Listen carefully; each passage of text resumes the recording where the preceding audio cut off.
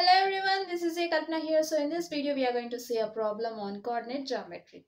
Okay, so here is the problem. Points A and B lie on a circle with center C. Then find the radius of the circle. So we are given two points which lie on the circle and a center. Okay, solution. Given points a minus 1 comma y and b 5 comma 7 so these are the coordinates of a and b. Also center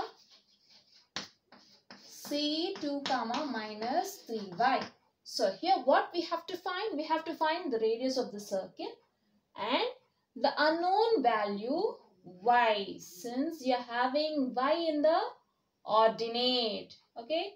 You can notice minus 3y and y which are unknowns right? So we need to find y also. Okay? So we are given that two points lie on the circle. A b are two points which are lie on the circle and center C. The coordinates of center C is 2 comma minus 3y and coordinates of A minus 1 comma y coordinates of B 5 comma 7. Okay. We know that if C is a center and AB are two points on the circle then C is equidistant from A or we can say A is equidistant from C and B is equidistant from C. Okay.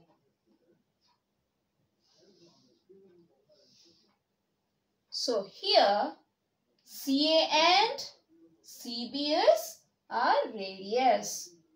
CA equals to CB. If you add these two then it will be a diameter, right? We need a radius not the diameter. So we have radius equals to CA equals to CB.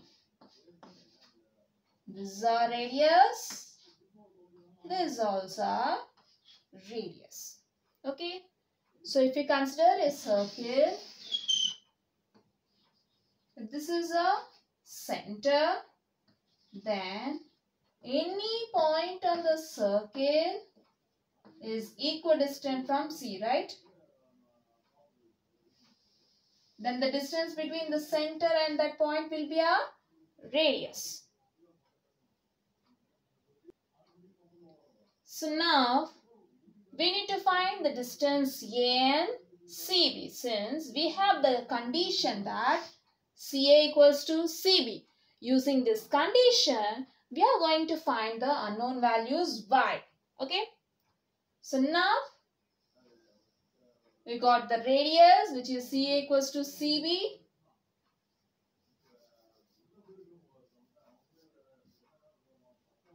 We'll find the distance. We know that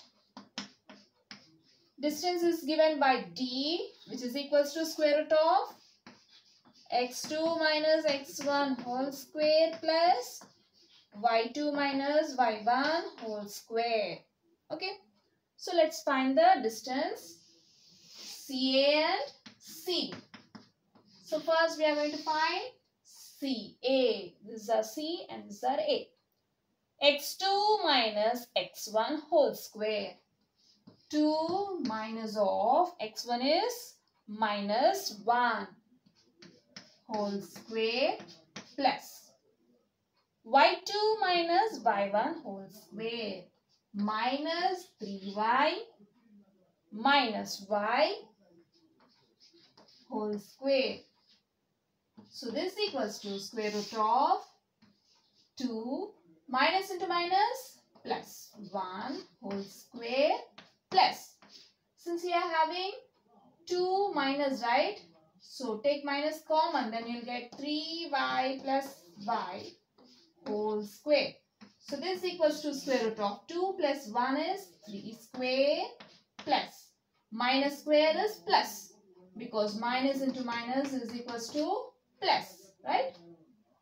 So you'll have 3y plus y is 4y whole square. So this equals to square root of 3 square is 9 plus 4 square is 16 y square. Okay. So therefore CA equals to square root of 9 plus 16 y square. Okay. So now we are going to find the distance CB.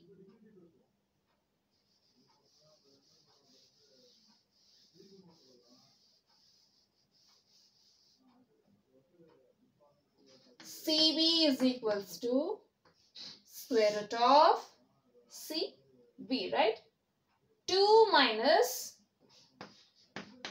5 whole square x2 minus x1 whole square plus y2 minus y1 whole square or you can write it as 5 minus 2 whole square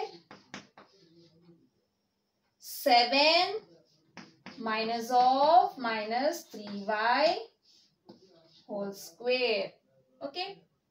So this is equals to square root of 5 minus 2 is 3 square plus 7 minus into minus plus 3y whole square. So this equals to square root of 3 square is 9 plus 7 plus 3y whole square. Okay. So we got CB. Therefore, CB equals to square root of 9 plus 7 plus 3y whole square. Okay. Since we know that radius CA equals to CB. That is, we have CA equals to CB, which implies we are having CA equals to square root of 9 plus 16y square, which is equals to CB. CB is equals to square root of 9 plus 7 plus 3y whole square. Okay.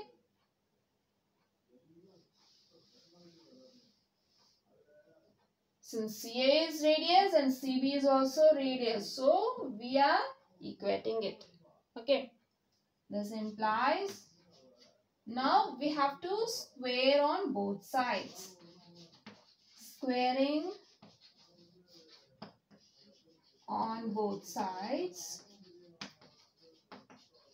we get square root of 9 plus 16 y square whole square which is equals to square root of 9 plus 7 plus 3y whole square whole square right? So the square and square root gets cancelled. So from this we'll get 9 plus 16 y square equals to 9 plus 7 plus 3y whole square. Okay. Since this is of the form a plus b whole square, so using that formula, we'll expand this. So this implies 9 plus 16 y square equals to 9 plus 7 square is 49 plus 3y square 9y square plus 2 3 is a 6 6 7 is a 42 42y okay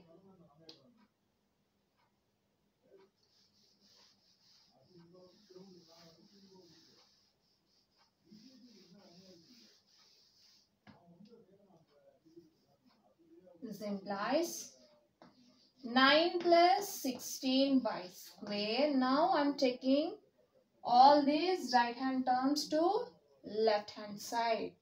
Minus 9 minus 49 minus 9y square minus 42y equals to 0 which implies plus 9 and minus 9 gets cancelled 16 minus 9 is 7 okay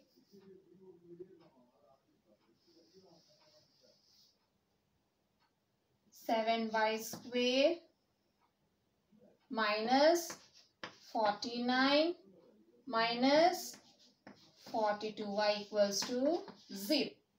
Now take 7 common from all the three terms. Then you'll get 7 into y square minus 7 sevens are 7 sevens are 49 minus okay minus 7 6 are 7 6 are 42 into y which is equals to 0.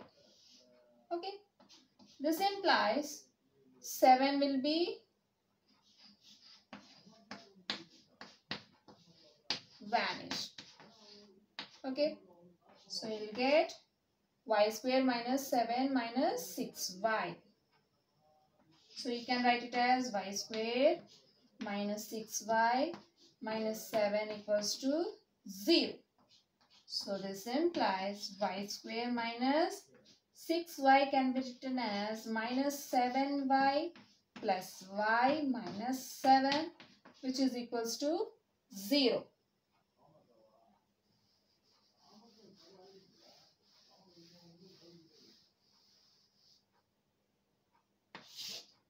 This implies now take y common from these two terms. Then you'll get y into y minus 7 plus write this as it is. The next two terms y minus 7 equals to 0. Again, these are the two terms, right? From these two terms, we have the common term y minus 7. So take y minus 7 common. Then you'll get y plus 1. That is y minus 7 into y plus 1. Okay. So from this you'll get y minus 7 equals to 0 or y plus 1 equals to 0 which implies y equals to 7 or y equals to minus 1. So therefore y equals to 7 or minus 1. Okay.